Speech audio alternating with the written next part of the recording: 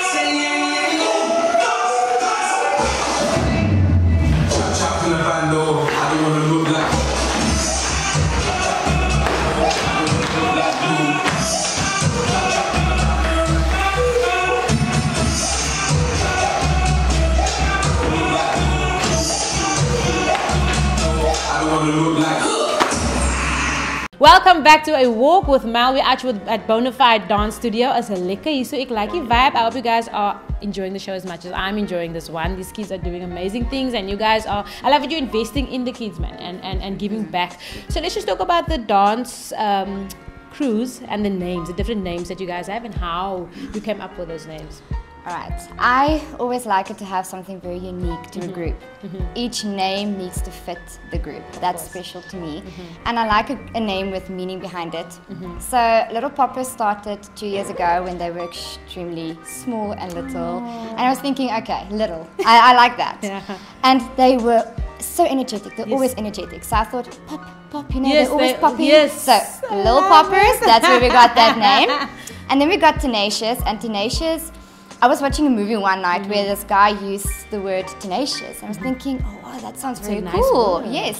And then I went to go Google it, mm-hmm. and I saw the meaning behind it. It actually means like unit. We work hard together, we fight hard together, we never give up. That's the word for the day. I never knew about that word. Yes, Tenacious. you must okay? go- Check go it out. Tenacious. so that fit them perfectly. Love it. And for the mega crew, I I always said to the people, I have this vision for them. Mm. One day they're just gonna rise above. Wow. I'm thinking vision, vision. That's the perfect hmm. name. Expect the unexpected. Oh, And that's how we got that Hey, name. hey, I think it was a rap rap life, eh? You best believe, you best believe. That's how we do it.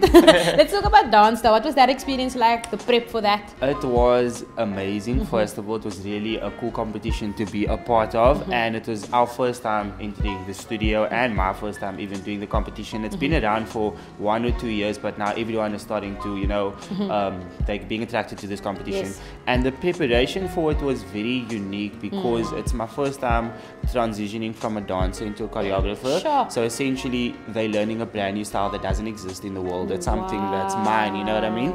So it was a special journey that I shared with a vision, mm-hmm. And for them just to get to know how I do things and, and the way I do things, it was it was very special and dear to me because I'm always going to remember that going forward, being a choreographer when I started out, you know, in this small studio with the small mm. group of, of, of kids, mm-hmm. and the overall experience, it was it was fun, it was exciting, it was yeah, mm-hmm. it was really really nice. Lovely.